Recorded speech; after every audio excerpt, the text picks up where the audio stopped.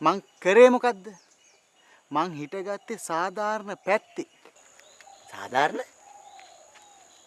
මොකද්ද ඒ සාධාරණ පැත්ත මොකද්ද විස්තරේ දැන් ඉතින් සාධාරණ පැත්ත සරා මල්ලිගේ පැත්තනේ. මම ජානු නංගිව බඳින්න ඉන්න හින්දා මට ඉතින් කෙලින් කියන්න බෑ. ඒ නිසා මම තද කරන්නම් කරන්නම් කී කී ඉඳලා හොඳම වෙලාව බලලා OIC මහත්තයාට ඇත්ත පහදලා දුන්නා. ඊට පස්සේ OIC මහත්තයා ක්‍රියාත්මක වුණා. සත්‍ය ජයගත්තා.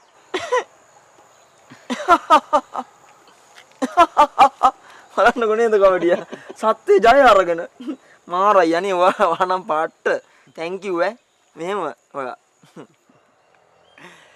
හැබැයි දැන් මේ මාතෘකාව කතා කරන්න නෙමෙයි මං ආවේ. මං ආවේ ඒ මාතෘකාවේ මූලාරම්භය කතා කරන්න. මොකද්ද මුලාරම්භේ